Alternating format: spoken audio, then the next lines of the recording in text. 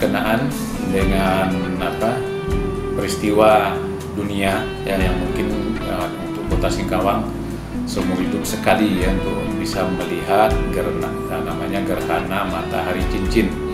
Jadi gerhana gerhana matahari cincin itu hanya terjadi kurang lebih 300 tahun sekali ya, yang mungkin uh, untuk kota Singkawang uh, pada tahun 2019 ini merupakan wilayah lintasan gerhana matahari cincin untuk enam wilayah di Indonesia.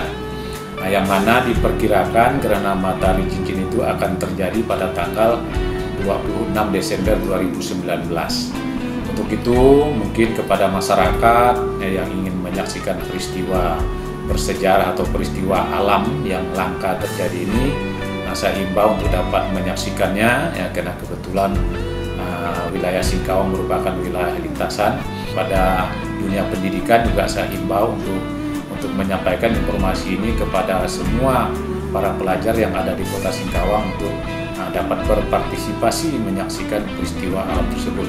Belum dan pas apa sesudah gerhana matahari cincin itu kan dilaksanakan berbagai kegiatan.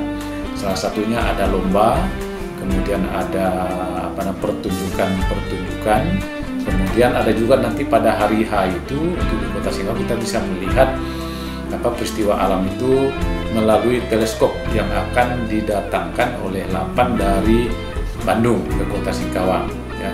Nah, yang mudah-mudahan nah, kegiatan ini atau peristiwa itu nah, semua masyarakat kota Singkawang dapat menyaksikannya dan juga panitia baik dalam hal ini pemerintah kota dan bekerja sama dengan 8 dapat mempersiapkan dengan sebaik-baiknya untuk memberikan pelayanan kepada masyarakat dalam rangka kita menyaksikan gerhana, matahari cincin ini.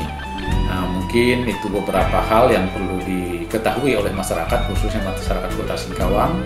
Kemudian juga barangkali dari mulut ke mulut uh, masyarakat bisa menyampaikan kepada sanak famili, saudara, teman, rekan-rekan yang berada di Kota Singkawang untuk kita beramai-ramai menyaksikan peristiwa yang langka ini. Barangkali itu beberapa hal yang perlu perhatian bagi kita nah, di mana dengan adanya peristiwa alam ini barang nah, ini akan menjadi apa namanya menjadi daya tarik ya, kepada wisatawan nah, untuk datang ke kota Singkawang karena untuk wilayah Kalimantan hanya ada dua yaitu di, di Singkawang Kalimantan Barat dan ada satu di Kalimantan Utara.